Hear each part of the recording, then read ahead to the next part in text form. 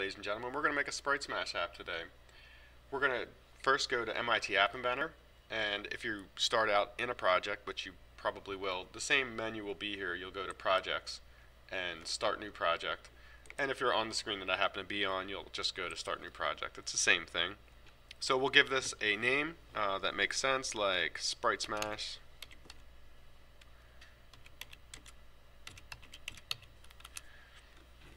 Okay, and it'll take us to the app. So here we have it. Before we even get started, let's talk about some pseudocode. Pseudocode is language that sounds a lot like code, but doesn't actually include code. It's going to be a description of what we're trying to accomplish and how we're going to try to accomplish it. In this app, we're going to have an animated sprite move around the screen randomly. So a sprite is just any movable object on the screen, uh, so that makes sense. The player of the game is going to try to touch the sprite, and if they happen to actually touch the sprite, then they'll score a point or points, and we'll make a sound as well. Finally, we'll show the score on the screen. So that's our basic app. So let's get started. The first thing we're going to need is a canvas. So I'm going to put this canvas on the screen. I went to drawing and animation and I chose canvas. We're going to want to set the canvas to be fill parent for height and for width.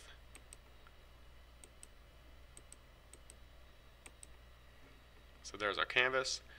I absolutely recommend that you change the background color of your canvas uh, in some way. I'm going to leave mine, actually I'll, I'll make mine orange. That's ugly. Um, change it in some way. You can make it an image. Uh, I'll show you how to make an image for that. You can make it a color or whatever, but you know, it's going to add interest. You can even do things to animate the background, which might be kind of neat. Another thing you're going to need though is a image sprite. So I'll drag that onto the screen. There's no image associated with our image sprite, so you can't really see it. It's real small, it's right here. But it's on the canvas. Finally, in order to move the sprite around, we're going to use time. So time is going to come from sensors on the left-hand side. It's going to be a clock. And the, the pseudocode for that is, by the way, the clock's down here. The pseudocode for that is every time the clock ticks, we're going to move the sprite to a new random spot on the canvas. So right now the time interval for our sprite is 1000 milliseconds, which happens to be one second. We can change that number. We can even do things in code to make that number change over time so that their you know, ability to touch it decreases, i.e. the game gets harder. We're also going to need some other things from the screen later on, but let's just go ahead and code this part now, and then we'll, we'll get to that later. So we're going to go to blocks. So in order to get the sprite to move around on the screen, we're going to need the clock. So that's what this is. I'll put that on our screen. Our pseudocode for this is going to be every time the clock ticks, we're going to change the sprite's x and y coordinates on the canvas to be a random number. The random number is going to be also a math problem that's going to be related to the width of the canvas and the width of the sprite because we don't know what these numbers are. The, the canvas width is going to depend on the screen that you put it on. The sprite width, of course, is going to change depending on the sprite that you've drawn, which we haven't drawn yet. So we're going to go to image sprite 1 and we're going to scroll way down to set image sprite 1 x2. So notice I'm way down on this list and I'm going to drag that onto the screen. And now we're going to go to math and this is where we're going to get a random number from. So we're going to get random integer from 1 to 100 in this case. And we're going to set that from 1 and then we're going to delete well, I'll hold on to this. We'll probably need that number in a second. But we're going to set that to be uh, a subtraction problem. And I'll show you what I mean. So we'll go back to math. And I'm going to get blank minus blank.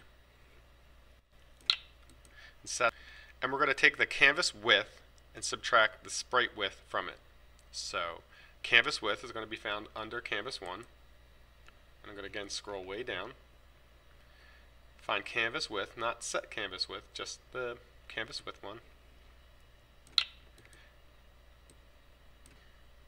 And we're going to subtract the sprite width from that. So that'll be under image sprite 1. And again, we're going to find image sprite 1 width. And I'm choosing width here because X is left and right. So now we can just duplicate this whole line of code and change it to Y. So I'm going to click here. I'm going to two finger click on a Chromebook or, or right click on a computer, on a regular computer, and choose duplicate. Okay. So now I'm going to change from X to Y, and Y is up and down, so it's going to be the canvas height and the image sprite height. So now, as long as that clock is ticking, it's going to randomly choose a spot on the canvas to put the sprite into. I'm just going to delete this. Unfortunately, we can't use GIFs on MIT App Inventor. They won't animate correctly. If we try to use a GIF, it'll just be a square with a yellow background. It won't animate, it won't change. It'll just be one image and it won't look right. If we want to animate it, we have to go to a site like Piskel app, I'm sure there's lots of others as well, and make numerous similar drawings in a stop motion kind of way, and then animate them in MIT App Inventor. I'm going to do the Piskel app animation in a separate video, so if you want to see that, I'll put a card up right here. At this point, I'm going to assume that you have your images ready and you know how to upload them, you know how to make your animated drawings on a site like Piskel app. If you don't, again, I'd, I'd, like to encourage you to go to the video that's in the card here. I'll put it up there again. There it is. And otherwise, I'll see you back at the design screen on MIT App Inventor with uh, your pictures already uploaded. Okay, so we want to take a careful look at the name of our images. So mine are called sprite underscore and then zero and then a number that changes each time and then it's 10 so no leading zero. So that's very important. Mine is like this. Yours is going to be different potentially. If you have more images or less it's going to be a different n number. I don't really understand why but sometimes it has a leading zero and sometimes it doesn't. It's really confusing. But we're going to animate this now to be like a GIF and in order to do that, we're going to get another clock. So we have a clock here. This is for moving our sprite around the map. I'm going to rename that clock. So it's now called clock 1. I'm going to call it move sprite. Now I'm going to get another clock, put that on the screen.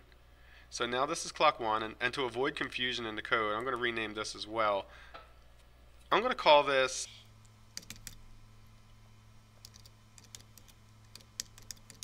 animate sprite.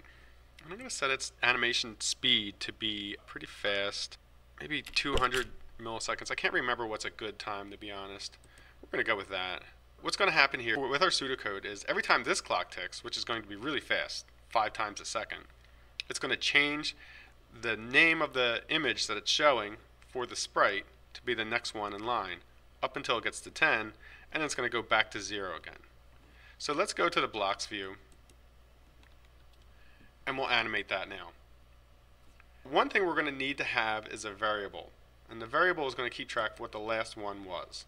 So I'm going to go to variables and choose initialize global name, and I'm going to change the name to be animation number. Alright, and I'm going to go to math, and I'm going to get a zero and put that in there.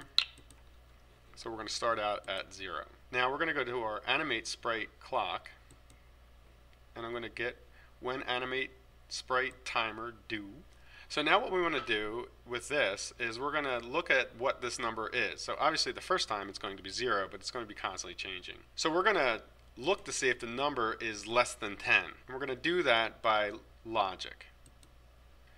So I went to control and I'm going to get an if then and I'm going to see if this number is less than 10. Okay? If math, and now I'm going to go to this blank equals blank, and I'm going to go here. If I point there, I just pointed my mouse over there, and eventually this pops up. If that doesn't work for you, you can also go to variables and just get a blank one, and then change the name of it to be what you want. By the way, the, the end of this, the little clicky part, has to go into the shape. That's how you get it to click in. If this number is less than 10, that matters because if it's less than 10, we have to add a 0 in the front. If it's 10 or greater, we don't. So now we're going to actually just write the name of this sprite right here. We're going to do that in code. So we're going to create this sentence by going to text, and we're going to find join. We're going to take this join and put it right there, and then go to the little blue gear because we need three different sections. So when I click on that, brings this up. I'm going to take one of these strings and I'm going to put it over there. Now I'm going to go back to text and I'm going to get a blank text box. And so I'm going to type this name exactly, precisely the same as it is there. Sprite underscore zero. And then I'm going to go here and I'm going to get this number. And finally, I'm going to take this one. I think I can use this. And I'm going to, oh no, I can't use this. I'm going to get rid of that. Back text. And this is going to be period, lowercase p, and g, just like my p and g's are. So that's if I'm less than 10. What if I'm greater than 10? So now I'm going to go to this gear, and I'm going to get an else, and I'm going to put that right there. Right click, or two finger click on a Chromebook and choose duplicate on the green part. I'm going to put this right there.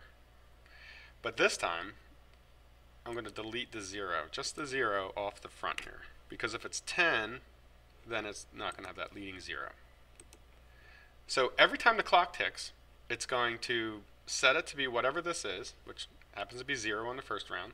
If it's less than 10, which it is, it's going to set the name to be sprite underscore zero, zero, .png. So now I need to add 1 to this number every time this clock ticks. So I'm going to go here, and I'm going to choose set global animation number 2, like that. I could have also went to variables and chosen this, set, the blank one. And now I'm going to go to math, blank plus blank, back up here, get, and I'm going to add 1 to it. So I'm going to go back to math and add 1. I have one last thing I have to do because now I've added 1. Once I get to 10, I'll be out of numbers. I'll be too high. So now I need to see if the number is greater than 10, and if it is, I need to turn it back into 0 again. Back to control. If then. And now I'm going to I'm going to get something just like this. In fact, I'm going to duplicate this. So two finger clicked on the blue part and I duplicated it. If this number is greater than 10, I like greater than instead of equal to because sometimes the code skips over it somehow and this seems to be less buggy. Then I'm going to go back up here and choose set. This is basically a reset for the animation. And I'm going to go here because I'm lazy and I'm going to set that to be 0. 0. Alright, now I'm going to try this on a tablet and see how it works out. I'm going to go to Connect and choose AI Companion. And I'm going to scan this with the AI Companion on my tablet. So on my tablet, I brought up the AI Companion app, and I scanned the QR code, and it looks like this. Okay, so at this point, you might notice that your sprite is too big or too small. If it's too big or too small, you want to change its height and its width to something else. You might change it from automatic to a certain number of pixels. You can make it, obviously a smaller number is going to make it physically smaller, a bigger number is going to make it larger. You may also change the animation speed by clicking on animate sprite and making that a different number. 200 seems pretty good. You can animate it faster by making it a smaller number. And you can move the sprite around the screen faster or slower by making this a larger or smaller number. So I really encourage you to play with changing those parameters specifically to change your sprite at this point. Now let's add the ability to keep score when you touch the sprite. So the pseudocode for this is when the player touches the sprite, we're going to play a sound and we're going to add to the score that'll be shown on the screen. The sound is going to be under media. So I'm going to get the sound, drag that over. We're also going to have to add a source for the sound. People in my class are going to go to Twisted Wave. You can follow this video link up here to do it. Otherwise, you can make your own sounds someplace else or import your own sounds from wherever you might have them. We're also going to need a label that's in user interface. So label, and I'm going to put my label right up at the top. I'm going to make my label text none. Alright, I think that's all we need. Let's go back to blocks. Back to our pseudocode, when we touch the sprite, we're going to add to the score. Touching the sprite is going to be sensed under sprite 1. Right here, the last brown one, when touched. And when the sprite's touched, we're going to want to play a sound. Call sound1.play. And now we also want to add to the score and change the label to match it. So the score is going to be held in a variable.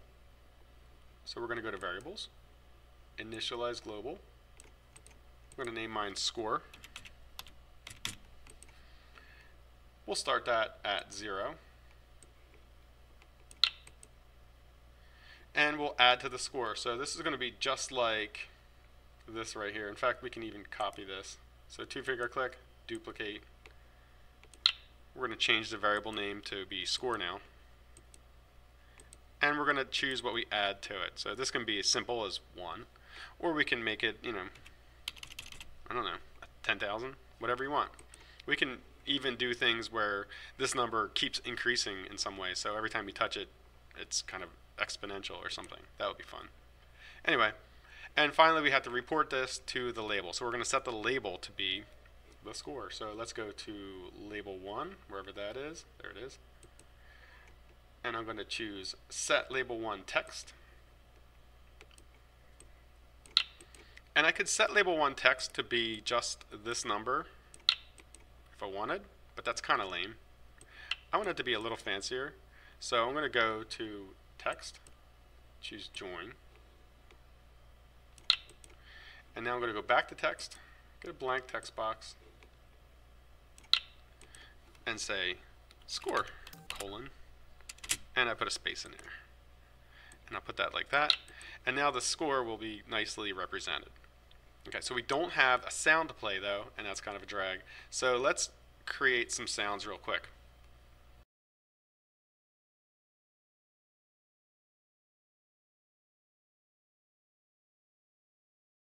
So now it's been uploaded, and I'm going to go to sound 1, change the source, to be the sound and choose OK. Alright, so now I can show you my app again. I'm going to go to connect. Oh, it's already connected still. That's the basic app. Um, if you wanted to create a reset button for that, it's really, really easy. If you think about it, resetting is going to need what? Let's think of the pseudocode for how you would reset the app. So the pseudocode is going to be when I press a button or some other input, maybe, I don't know, you could check to see what the score was or something. When I press a button, you're going to reset the score to be zero, right? So the label is going to be zero and the variable is going to be zero, and you put all that on the screen. You might do something else too. You could do other things like change the background color or whatever. You could also make this app more interesting by changing the background color over time or changing the sprite image over time. You could change the scoring or the sounds. You could make multiple levels. You could change the animation speed after a certain score or time. So there's lots of interesting things you can do to extend this and make it more interesting and better. So this would be the most basic possible.